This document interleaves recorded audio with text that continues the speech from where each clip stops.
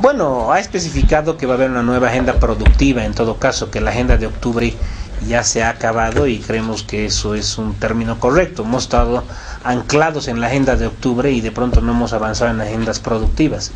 Lo que hay que avanzar y en lo que al sector corresponde, nosotros creemos que debemos avanzar mucho en la ley de inversiones, en la ley de minería, en la ley del trabajo, en la ley de bancos y en una nueva ley de hidrocarburos. Eso va a ayudar a todos los sectores a que podamos dinamizar la inversión, tanto local como extranjera. Hoy día en un medio de prensa algunos senadores ya reflejaban eso. En todo caso, hay que ir trabajando eh, sobre la base de la estructura económica y las leyes económicas que van a regir al país. El presidente lo ha mencionado en su discurso, ha dicho que va a llamar a los empresarios, creemos que en, sobre la base de lo que estamos trabajando ahora, de las mesas que ya hemos constituido en febrero y que se han ido repitiendo, vamos a seguir avanzando ya en las leyes que ya habíamos también comentado y que en el Palacio los ministros eh, eh, en conferencia de prensa también dijeron, ¿no? La ley de inversiones que es importante, la ley de bancos y lo reitero, todas las que van a regir a los sectores económicos que son los que ahora van a dinamizar la economía ante una posible crisis económica. Ritmo lento, pero se ha ido avanzando. Esperemos que ahora que ya hay una decisión de que en diciembre se va, se va a construir una nueva agenda, habrá que marcar en esa agenda tiempos, determinadas eh, acciones de seguimiento para que esto no se pinche en el camino. ¿no? El presidente y el vicepresidente han sido claros, ya se han acabado todas las nacionalizaciones. Lo que hay que generar es